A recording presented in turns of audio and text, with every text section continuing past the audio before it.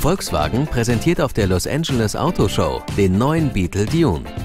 Das Crossover-Modell, das an die legendären Baja California Buggies erinnert, ist gekennzeichnet durch ein auffälliges Design mit zahlreichen Offroad-Applikationen, große 18 Zoll Räder und eine höher gelegte Karosserie.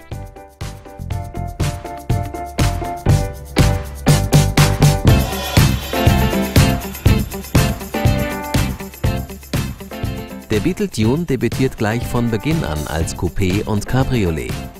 Die Preise für das Coupé beginnen ab 23.625 Euro und 27.800 Euro für das Cabriolet.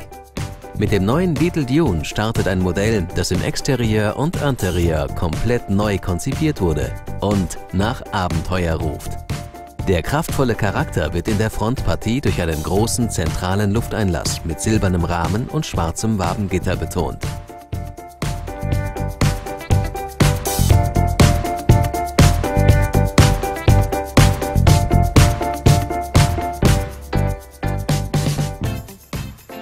Der Beetle Dune verfügt über die neueste Generation der Volkswagen Infotainment-Systeme, die abhängig vom Modell unter anderem um den digitalen Radioempfang DAB+ oder eine zweite Bluetooth-Telefonschnittstelle erweitert werden können.